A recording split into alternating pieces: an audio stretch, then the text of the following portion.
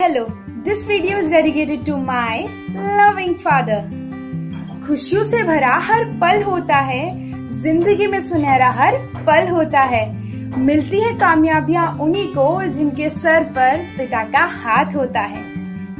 मंजिल दूर मंजिल दूर और सफ़र बहुत है। छोटी सी ज़िंदगी की फ़िक्र बहुत है। मार डालती है दुनिया ना जाने कब की हमें मार डालती दुनिया ना जाने कब की हमें, लेकिन पापा के प्यार में असर बहुत है। Love you happy Father's Day